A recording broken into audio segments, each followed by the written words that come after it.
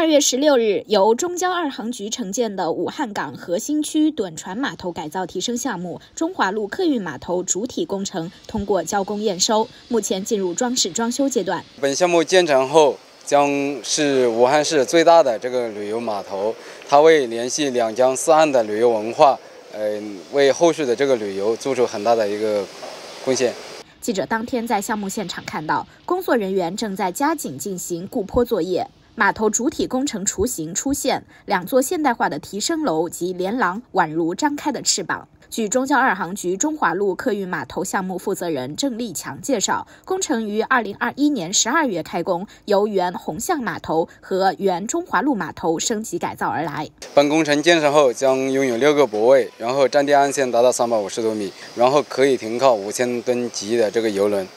不久的将来，游客可在中华路客运码头乘坐游船渡江，欣赏黄鹤楼、秦川阁、武汉长江大桥等著名地标建筑。下船后，可就近游览周边武昌农民运动讲习所旧址纪念馆、毛泽东旧居纪念馆、中共五大开幕式旧址及陈潭秋革命活动旧址等红色景点，体验独具江城特色和文化底蕴的游轮之旅。